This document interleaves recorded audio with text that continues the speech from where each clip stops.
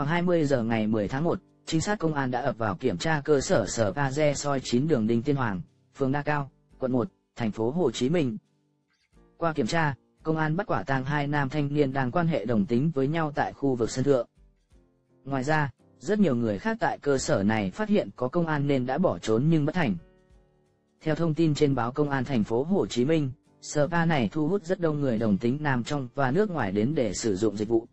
Có những ngày chỉ mới 22 giờ nhưng các phòng đều đã kín khách.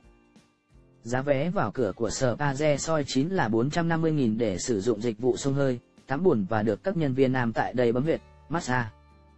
Sau đó, nếu khách có nhu cầu vui vẻ tới bến với các nhân viên nam thì sẽ thỏa thuận với giá là 2 triệu đồng, người, lượt.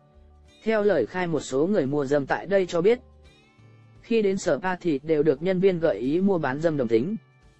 Theo báo công an thành phố Hồ Chí Minh, sở re soi 9 bên trong có bố trí một phòng tắm tập thể, phòng chiếu phim khiêu dâm. Tại khu vực sân thượng, spa này cũng lắp đặt 5 chiếc lồng sắt, bên trong là giường cùng những sợi dây xích để tạo cảm giác mạnh.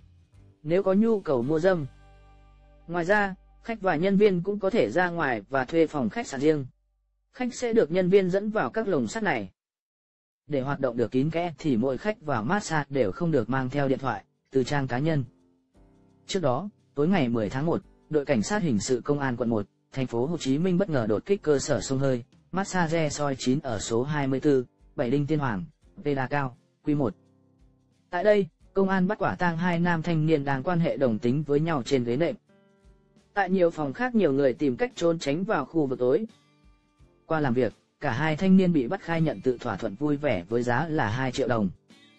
Bước đầu, các đối tượng khai nhận giá vé vào cửa là 450.000 đồng để sử dụng dịch vụ như sông hơi, tắm bùn và được các nhân viên nam tại đây bấm huyệt, massage. Công an đã lập biên bản xử phạt sở ba với các lỗi như không giao kết hợp đồng lao động với nhân viên. Phương tiện phòng cháy chữa cháy bị che khuất, người đứng đầu cơ sở thiếu trách nhiệm để xảy ra tình trạng mua bán dâm tại cơ sở mình quản lý. Tổng hợp,